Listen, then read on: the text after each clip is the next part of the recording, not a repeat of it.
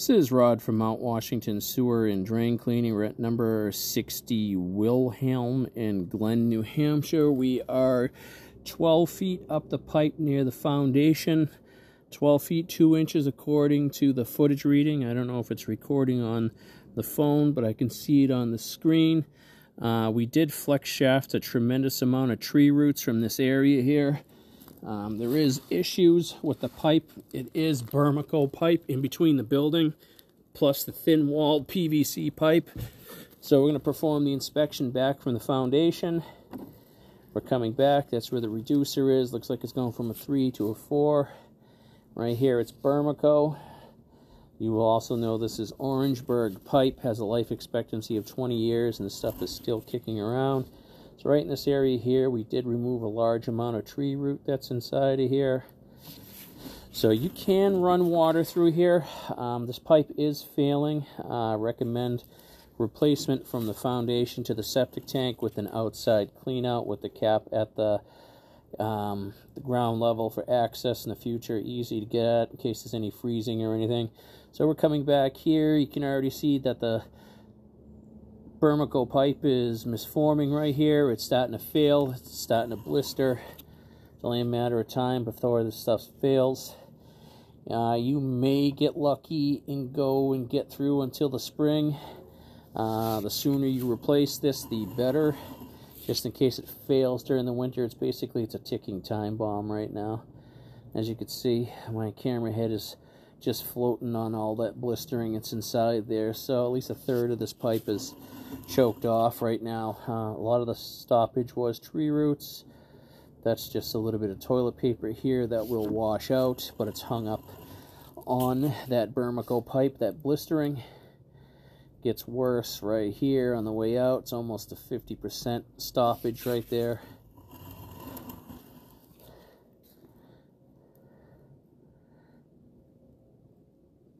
Yeah, that's pretty rough shape. More blistering.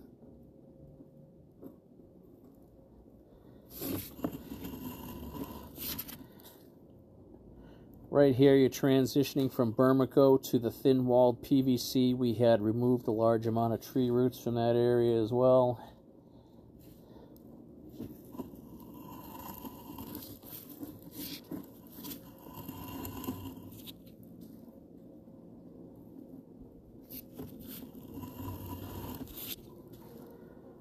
Right here. They're starting to push up through the pipe. This will eventually split through, so it's probably settled on a rock.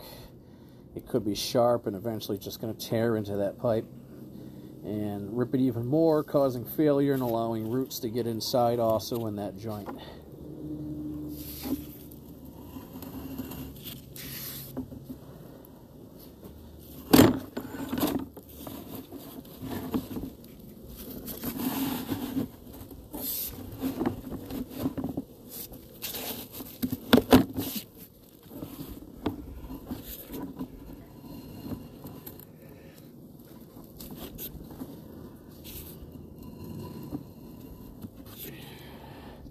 Some more blistering right there.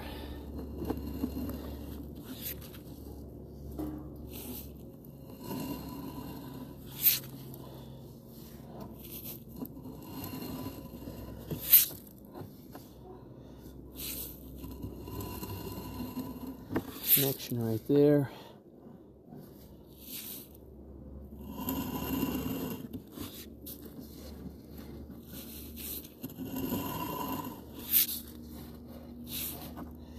A little bit of root that will wash out that we chewed up. And we're getting ready to drop into the baffle. Now into the septic baffle coming up.